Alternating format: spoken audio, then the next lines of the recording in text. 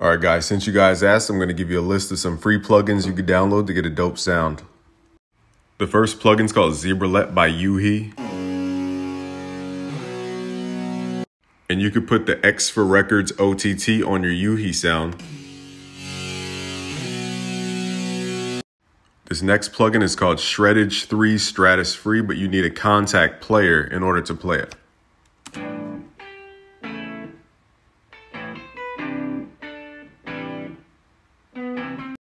This next plugin is by Softube. It's called the Saturation Knob. It's really good for 808 saturation or guitars.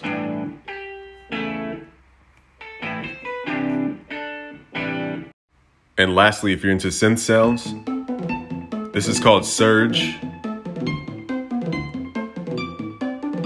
I'm running it through the free iZotope vinyl.